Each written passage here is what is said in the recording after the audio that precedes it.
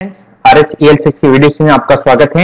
ये W C command series का third video है और इस वीडियो में कि यदि आपको लिनक्स ऑपरेटिंग सिस्टम में किसी फ़ाइल के फ़ाइल में चेक करना है कि उस फ़ाइल में टोटल नंबर ऑफ़ वर्ड्स कितने हैं, वो आपको कैलकुलेट करना है तो वो कैसे करते हैं, वो इस वीडियो में सीखेंगे। तो इसके लिए आपको डब्ल्यू सी कमांड के साथ में हाइपन डब्ल्यू ऑप्शन यूज़ करना पड़ेगा। तो डब्ल्यू सी कमांड का जो सिंटेक्स है, वो इस प्रकार रहेगा। सबसे पहले आपको लिखना डब्ल्यू सी उसके बाद हाइपन डब्ल्यू ऑप्शन और उसके बाद उस फ़ाइल का नेम आपको लिखना है, जिस फ़ाइल में से आपको चेक करना है कि उसमें टोटल नंबर ऑफ़ वर्ड्स कितने हैं।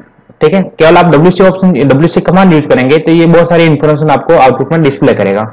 Just exam just for example उस फ़ाइल में टोटल लाइंस कितनी है, उस फ़ाइल की साइज़ क्या है, उस फ़ाइल में टोटल वर्ड कितने हैं, ये सारी इंफॉर्मेशन पूछेगा लेकिन यदि आपको केवल चेक करना है कि उस फ़ाइल में टोटल नंबर वर्ड्स कितने हैं तो उसके लिए आपको डब्ल्यू सी कमांड के साथ में हाइपन डब्ल्यू ऑप्शन यूज़ करना पड़ेगा। तो चलिए हम इसको एक एग्ज़ाम्पल से समझ लेते हैं।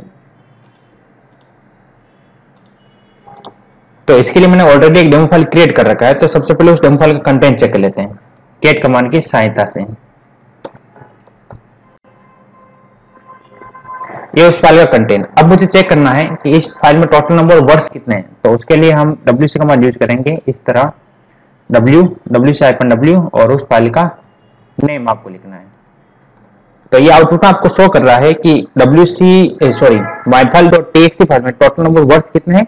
29 तो इस तरह आप डब्ल्यू से कमांड के साथ में हाइपन डब्ल्यू ऑप्शन यूज़ करके किसी फ़ाइल में टोटल नंबर वर्ड्स कितने हैं, वो आप फाइंड आउट कर सकते हैं।